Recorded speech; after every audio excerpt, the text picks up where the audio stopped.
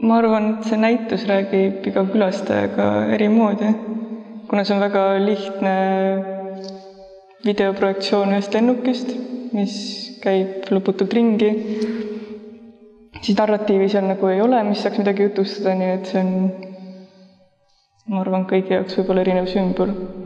ma olin selle videoga tegelenud mõnda aega, ma filmisin lennukeid, mis lendasid üle Frankfurdi ja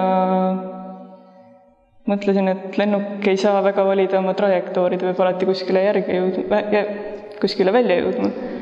aga mis oleks viimane võimalus lennukil ümber mõelda või mis oleks viimane võimalus mingit otsust ümber mõelda, ilma et tagajärgi, sellele väga suuri tagajärgi äh, tekiks, nii et mõtlesin, et mis juhtuks, kui lennuk lihtsalt lendakski äh, lihtsalt lõputult ringi, kui peaks muretsema selle pärast, et kütus saab otsa või mis reisijatest juhtub. et see tundus selline natuke paradoksaalne kujund, mida kasutada. see ei ole ei positiivne ega negatiivne, sest lahendust ei ole, see lennuk ei jõua kuskile välja. ja see ongi selline minu jaoks võib-olla vahetsoon või vahetsooni visualiseering, kus ongi mingi lõpptulemuse ootamine ma arvan, et kõigil on mingeid suuremaid või raskemaid otsuseid, mida on väga raske vastu võtta. eriti kuna sellega kaasneb midagi, mis võib-olla mõjutab ka ümberolijaid või, või edasist elukäiku või majanduslikku olukorda, mis iganes.